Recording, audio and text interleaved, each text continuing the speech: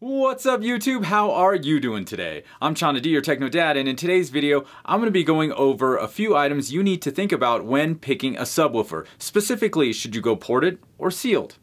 We're going to get into it right after the jump.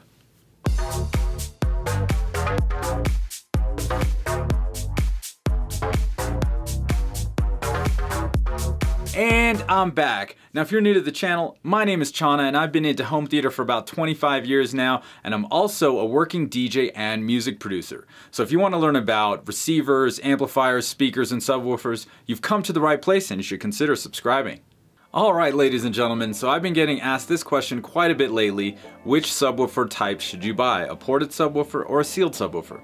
And I think that depends on two things. The first is what kind of content you're listening or watching, and what size your room is. Now, if you haven't seen my video on how to choose the proper subwoofer per room size, I'll link that down in the description and with a card on top so you guys can check that out when you need to. Now, one of the things I hear a lot is that if you're into music, you should get a sealed subwoofer, and if you're into home theater or you watch more movies and TV, you should go with the ported subwoofer. Now, honestly, I don't think that's 100% right, and we'll get to that in a minute, okay? Because there's a good explanation for that. First, why don't we get into the pros and cons of each type. So as far as the sealed subwoofer is concerned, the pro is that it's smaller, it's got tight and accurate bass, meaning if you're listening to music like some heavy metal and they got double bass drums going, it's going to keep up okay? Because it's sealed, it's pressurized, and that, that woofer is going back and forth really, really quickly. That's what's meant by accurate uh, bass response in a sealed subwoofer. Another pro for the sealed subwoofer is its size. It's going to have a drastically, drastically smaller box and therefore a smaller footprint than its ported counterpart. Now the biggest con of the sealed subwoofer is that you're going to need a lot more power to get the same rumble, the same bass, uh, the same SPL at lower frequencies as a ported subwoofer. Now let's move on to the ported subwoofer and its pros. Well first, it needs less power to get to the same bass level or SPL in lower frequencies because it has the ports and you just don't need as much power.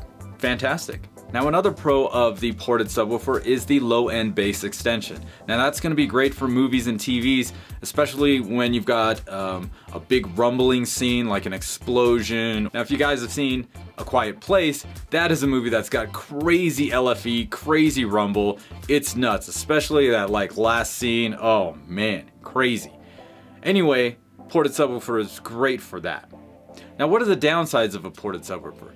First of all, it's huge, like huge. I have the PB4000 by SVS upstairs and it's it's pretty big. I, I, will admit it, it's a little too big to be sitting in a living room, honestly. It's, it's pretty large. And you can see um, my other video about the unboxing, like I'm literally crawling through the box in that video. It's just huge, okay? So that's the biggest con for the ported subwoofer. And the second is that usually it's a lot slower meaning that tight bass that you need for uh, music isn't really there, especially when we're talking about um, non-synthesized music, like uh, you know, some pop music, a lot of rock, metal, that kind of stuff. Once you figure out what size subwoofer you want to go with that's appropriate for your room, then you want to think about what kind of content you watch and listen to. Is it 60% TV and movies, 40% music? Is it 30% movie and TVs and 70% music? Something like that. You kind of have to split it up.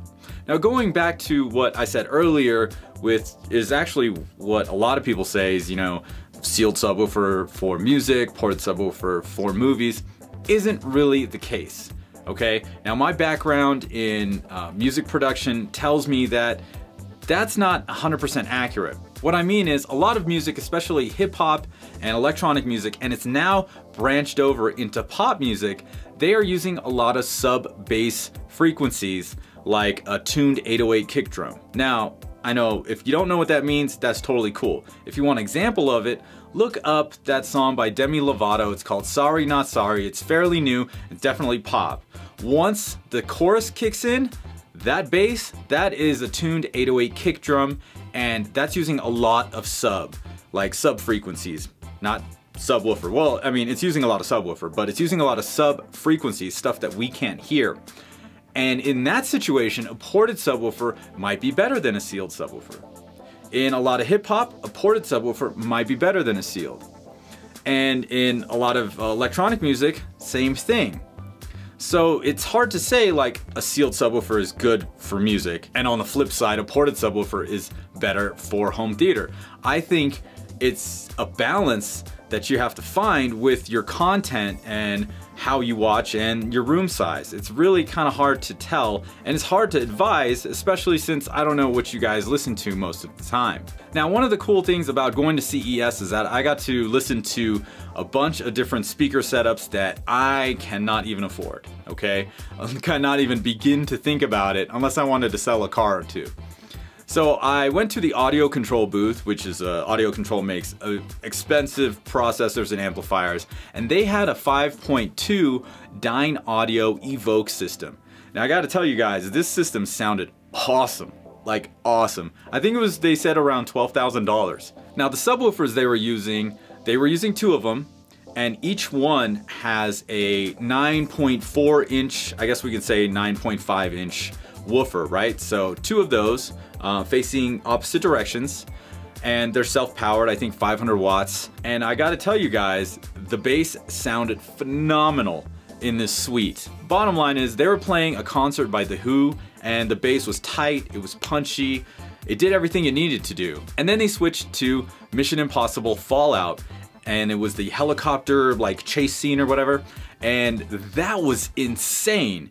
These little subwoofers were doing so much and in, and I was saying to myself, I'm like, this is giving the same experience as that big SVS PB4000 that I have in my living room. And so when I went home, I looked it up. That sub six or whatever they call it, it's it's super expensive. Let's just put that out there. It's expensive. It's like almost $3,000. However, it's got these uh, 25 centimeter drivers, which are 9.4 inches. There's two of them. 500 watts RMS. This little subwoofer goes down to 16 hertz. 16 hertz. When comparing that to the SVS PB4000, it also goes down to 16 hertz in standard mode.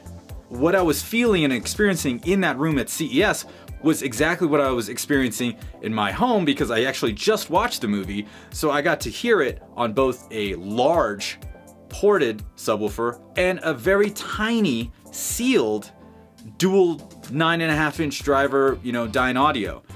Yes, they had two of them, so that's about $6,000 just in bass in that room. Crazy. I told you, it's, it's expensive. But here's a situation where I have a very small sealed subwoofer that actually mimics the same frequency response. I was getting the same experience with that sealed subwoofer as the big big ported one. Now when I say small, this subwoofer is 18 by 23 by 10 and the SVS PB4000 is 20 by 23 by 30. So we're talking a large, large difference in size and one's sealed, one's ported, and we're getting the same frequency response, pretty much. So, you know, going ported or sealed that's really a tough question to answer, especially if I don't know your room and if I don't know what kind of content you're watching or listening to. And that's something that you definitely need to think about. So now that I can relay all that information to you guys, I guess the biggest question is, well, how am I to know which is gonna sound best in my room? And the only answer to that, try them in your room. that's, that's pretty much it. I know, it's an expensive endeavor. Let's say you're looking at a $500 subwoofer, yeah, you gotta buy two. You gotta spend $1,000, buy them both, figure out which one you like the best, then return the one you don't want. Simple as that. I know, it's expensive. But if you want that like clarity of which one is better, that's really the only way you're gonna find out. Now luckily companies like RSL and SVS have in-home trials. I believe RSL's is 30 day and SVS has a 45 day. So that's kind of cool. And I know companies like Crutchfield offer a 60 day uh, return policy, so that's even better. So make sure when you're trying to figure out if you want a sealed or ported subwoofer, you try them in your house if possible. I know some of you are on a tight budget and you're like, dude, I can't just spend a $1,000. No, I totally get it. I totally get it. So, you know, you know, try one, return it, try another one. If you like it, keep it. If you liked it better than the other one, keep it. If you didn't like it better than the other one, return it and buy the other one back again. I mean, you know, they have these return policies for a reason. You know, it's it's about time we start using it. As consumers, we have the right, right? That's that's what I say. But anyway, if you can try it in your home, that's going to be the best way to figure out which one is better for your room, is to try them out. Okay, so now to just kind of go over everything, just because you listen to more music doesn't mean a sealed subwoofer is better for you. A ported one could be better depending on the music you're listening to. As far as a ported subwoofer is concerned, it's large, but it is very efficient and you get that super crazy rumble on those big LFE moments in your content like explosions or you know like in a quiet place where it's just shaking the crap out of everything even Dunkirk was just really really really crazy and intense with that big big subwoofer at the same time you could go from a 13 inch driver to two 10s in sealed enclosures that might give you that same experience. Of course, it's all dependent on your room and your content. So that's kind of it. As far as, you know, when you ask or you're trying to figure out which one should I get, it's a tough question to answer. So I hope this video has helped you guys out. If you have any questions for me, leave them down in the comments below or hit me up on whichever social media platform you like to use the most.